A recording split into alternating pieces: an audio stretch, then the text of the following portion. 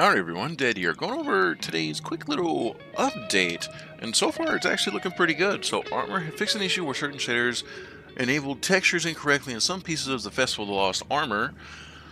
And the big one, linear fusion rifles in general increase the flinch received from player damage and flinch magnitude from players has been increased to four times that of a sniper rifle to make up for the lower zoom and higher aim assist, and increase the flinch settle time by 60%.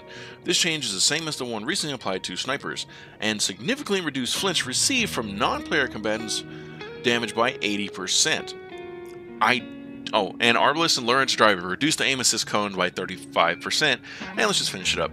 General, fix an issue where the intended Authority Seasonal Challenge showed incorrect rewards, and the uh, was the Physic Warframe emblem has the right reward and it's now stated as such. Back to LFRs. I have not been able to find someone to help me test the PvP aspect of it, so I'll get back to you on that once Trials hits this weekend. But for what I can tell, in PvE, this is actually a very noticeable thing. If you're just taking like a couple licks of damage every here and there, you can definitely get your shots back in if you just wait a second.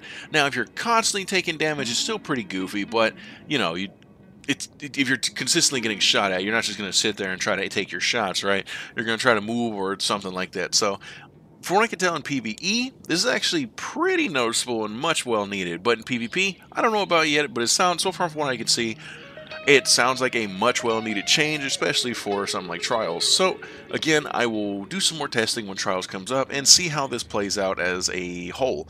Other than that, thank you for tuning in, everybody. If you like what I do, please like and subscribe to the channel. It inspires me to make more. I'll see you on the next one. Peace, and have a good one.